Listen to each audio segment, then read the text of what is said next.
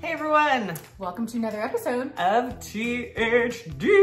We are here today to bring you some very valuable information on supplements. Honestly, I had no idea that it was an option, and I think a lot of you are gonna appreciate this a lot. Yes, not everybody has an easy time swallowing a capsule. I don't have any trouble swallowing pills, but the pill capsule itself can upset my stomach. It makes me a little gassy. It makes you go. A little bit of pain right there. So we just wanted to show you that there are options uh, for people who can't swallow supplement capsules.